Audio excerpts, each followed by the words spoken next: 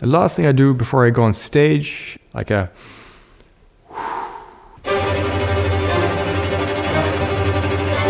My name is Sao Soulez Larivière and I'm a violist.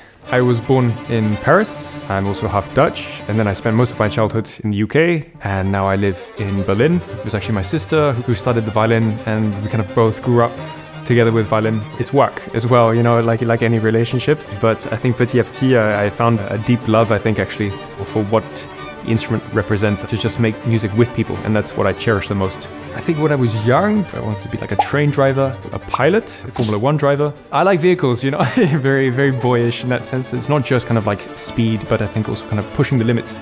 The quirky habits, more kind of like looking up public transport. I don't know, it's a very strange uh, hobby of mine, but I'm really interested in understanding how it works and what's the fastest way to get from A to B in a city.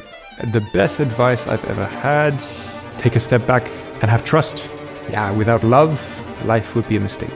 Love is life. You have to enjoy what you're doing in this ever more dividing world. Yeah.